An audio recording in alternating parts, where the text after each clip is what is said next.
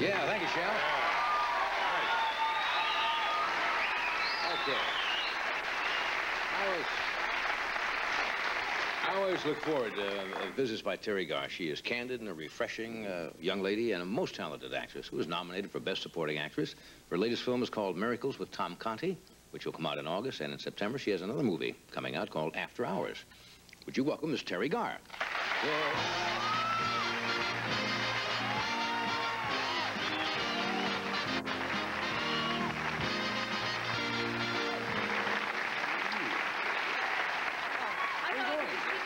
you leaving already? Yes. I thought already you were having an anxiety attack and you were going right out the door. No, no. Okay. I'm not. Did you see what we were doing a moment ago? Um, no. We- We're playing a game called Scruples. You ever heard about it? No. These are, all right, I'm going to just pull some things out of the box. I'll explain this. Okay. This is a game called You Just, there are no right or wrong answers. Okay. It's a game called You Make a Judgment on what you, which you would do in this situation. You are attractive but poor and without skills. Someone offers you a lot of money to work for an escort service. Do you accept? You know, it's funny. This happened to me. Figures. Figures with you. No. Of course I wouldn't do that. Well, now, that's just the judgment you say. Well, that's a judgment? Oh, that, oh, there's no right or wrong answer. Some no. people might say, yeah, I would do that. I need the money, and it depends what an escort service. What do you mean by that? And then you're not allowed to say that you're wrong? You'd be doing a, you'd be making a mistake? Well, isn't that, but isn't that an individual judgment? Somebody else may not figure it's wrong. If it was just an escort service, you go out with somebody. Is that, is that wrong? Mm-hmm. It is why. Well, you go out with somebody for money that you don't like? How can that be right? Suppose, Come on. right, that's, that's exactly what the game is about. Mm-hmm. You sit around and discuss it, and somebody says, well, suppose you don't like the person, and there's, it, it doesn't, it's not a sexual thing. I'm going to go out, people work in their job every day with people they might not like. Yes, I'm sure. You see, to say they Mhm. have to make money to put bread on the table. Now, under those circumstances, might you, might you have another uh, look at it and say, well, I might in that situation? Yes, I, it is a very philosophical game, That's what the game is about. Mhm. It, yeah, I mean, it's true. You're right. I'm, I'm very judgmental. yeah. I mean, so I, I make judgments all the time. I go, oh, no, no, this is nonsense. Where I'm not dealing with this. And then, so I, I guess I shouldn't. Is that what this game teaches you? That you can't make judgments? I don't know. I just think there are no right or wrong answers. You, the- what it does, I think it really stimulates conversation at a party. For mm-hmm. example, I haven't seen this one. After looking for work for six months, you get a good offer from a large weapons maker.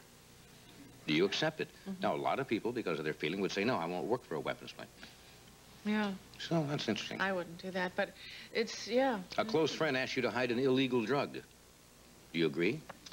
Absolutely not. I would never do something like that. Well, let's see. We'll see what you would do here. What kind of close...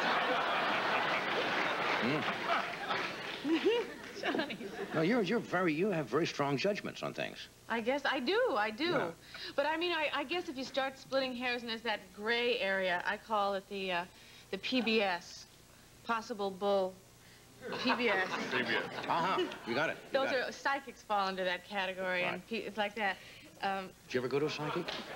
well, I do, because it's fun and I like it, but, you know, they have a, they have dog psychics now. I beg Friend- pardon? Well, see, a friend of mine is taking her dog to the dog psychic because... Spare me. You're kidding me. No, well, i the dog barks at the vacuum cleaner and barks at the hair dryer, and this dog psychic said, I will find out what the dog wants to tell you.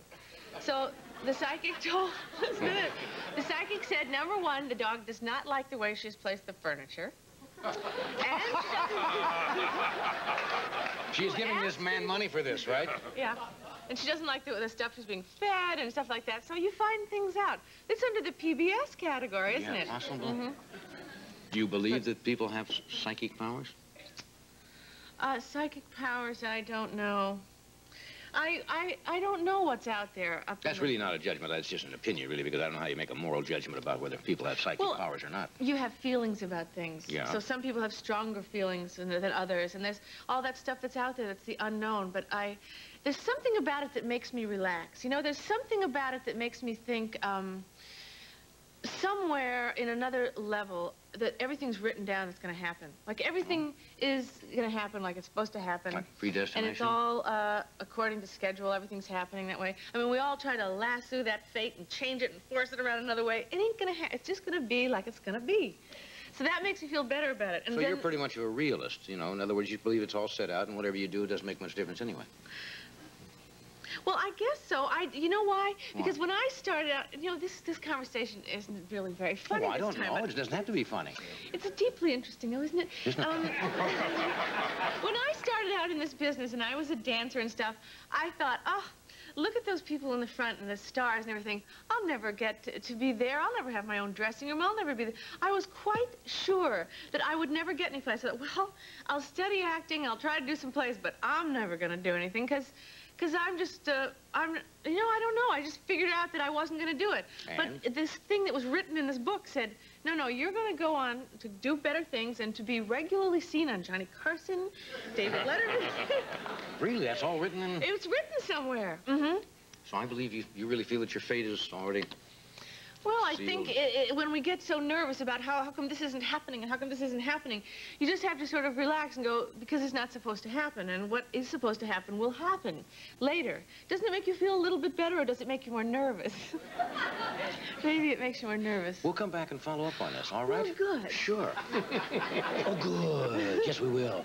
Don't go. Sound like Merv then again. Good, good. Hmm, okay, we'll be right back.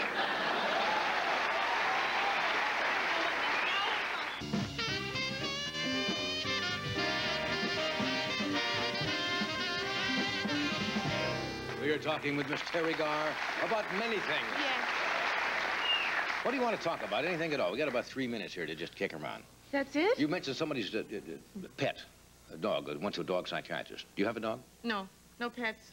Yeah, No. because you tr because you're not home most of the time, or what? Mm, yeah, because I travel all around. I'm an international circus performer. I know you don't know that, but it's true. On the high wire at all times. More ways than one. you like to flirt on the edge, don't you? You just kind of Yes, just I- move along. You know? I do. Well, I'll never topple over though. No, It's, it's no, you just... won't. But um, no, I don't have any pets because I'm always running around. And in fact, next week I'm going to Japan Really? on um, Wednesday. Yes, to some film festival. Well, you, you don't know what the film festival it is? Well, it's a film festival of, of films, I assume. Yeah, yeah, uh, that's probably why they call else, it that. Though. Could yeah. be nuts and Those bolts. Japanese and are very deep. Distributor caps, but I think it's going to be films. And I'm going there, and I'm very excited about that because I've never been there. Yeah, I've never been to Japan either. I You haven't? No. Well, I'm surprised. Why? Because you're you could do that if you wanted to. I guess so. I just, I'm going to get around to it sooner or later. Yeah, that's what I always thought, but I probably never would unless I was asked and given these free tickets and all this. If I went, I would go into the youth hostels and I would Yeah. make a big deal. So now they just whisk me over there and make me do it. And... What are you looking forward to mostly? Oh, I Just don't know. being in Japan? Well, I'd like to see their culture. You know, they're they're. You probably will. It's open most of the time. You know what I mean? They're Cul- different. Culture opens at 9, I think, in the morning, closes about midnight. But no, I'm just teasing you. But you know, they have many different things over there. People are, um, they they're they don't like to lose face, and they they're embarrassed, and they have a big thing about humiliation. Not like us. Yeah. we don't care. Right. But there's a different kind of culture over there. I, I read this thing in National Geographic about this certain kind of sushi called fugu. That um, there's a fish that is, I think it's a blowfish, and if they don't cut it a certain way and they get the tiniest little bit of the liver of the fish in this, and you eat it, it's instant death. This guy in the Kabuki Theater, he came one one night and he said, give me fugu. And they cut it and they gave it to him and he lived and he said, that was pretty good. Give me another order of fugu. The guy cut a little bit of the liver in it. The guy was dead. That's something to look forward to on this trip, isn't it? Yes, Dining out yeah. with fugu. I've never heard of that before. That's Stay away from something that, they though. do there. We'll, we'll be right back. Stay where you are. Fugu.